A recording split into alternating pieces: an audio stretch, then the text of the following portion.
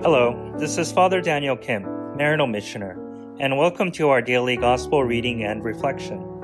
Today's Gospel reading is according to St. Matthew, chapter 1, verses 18 to 23.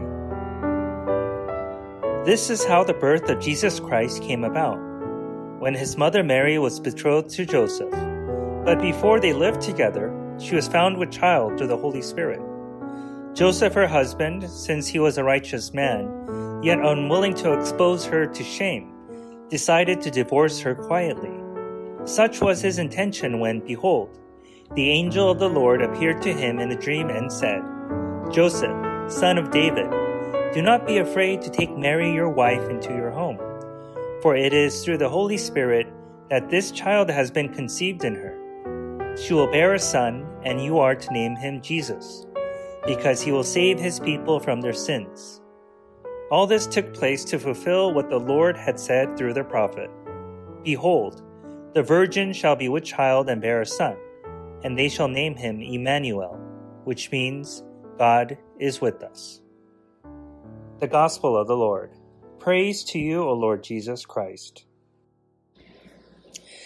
Today we celebrate the birth of the Blessed Virgin Mary because this day marks the nine month period after her Immaculate Conception on December 8th.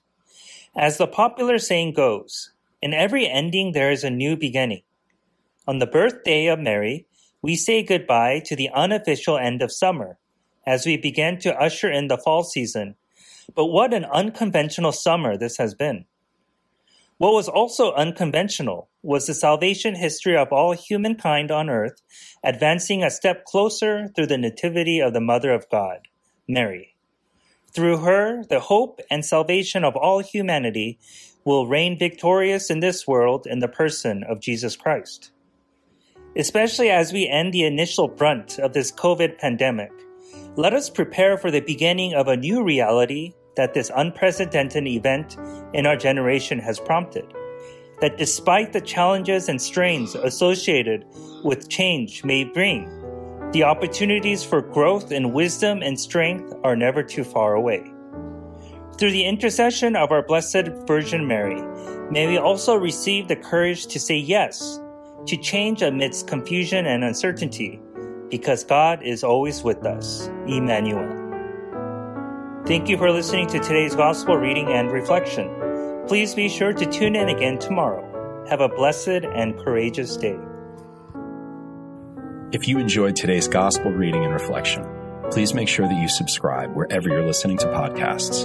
Also, if you know somebody who may find value in today's reading, please make sure that you share it with them. To learn more about how you can support the work that Maryknoll does around the world, please visit us at maryknollsociety.org and if you're interested in subscribing to our online magazine, please feel free to visit us at maryknollmagazine.org.